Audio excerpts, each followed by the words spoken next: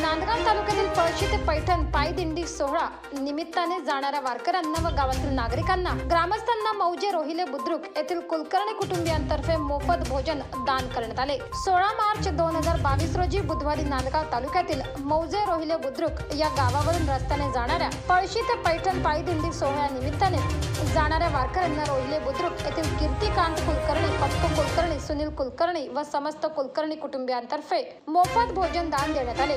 सदर कुलकर्णी कुटुंबीय हे अनेक वर्षापासून वारकऱ्यांना भोजन दान करून एक प्रकारची समाजसेवा करत आहेत. गेल्या दोन वर्षापासून कोरोनामुळे दिंडी सोहळा बंदी असल्याने हे दोन वर्षे त्यांना भोजन करण्याची संधी मिळाली नाही असे कीर्तिकांत कुलकर्णी यांनी बोलताना सांगितले. आणि आतापर्यंत ह्या कोरोना काळामध्ये दोन वर्षाचा कालावधीत फक्त आमच्या सेवेला खंडन झालं आणि आज पुन्हा परंपरेनुसार आम्ही या दिंडी सोहळ्यामध्ये सहभागी झालो.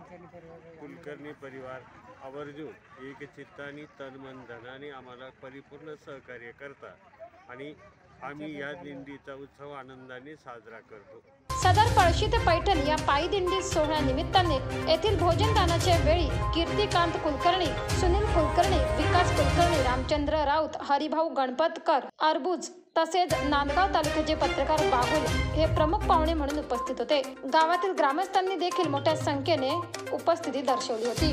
नाशिक लोकशाही न्यूजसाठी नांदगाव प्रतिनिधी मुक्ताराम बागुल नांदगाव.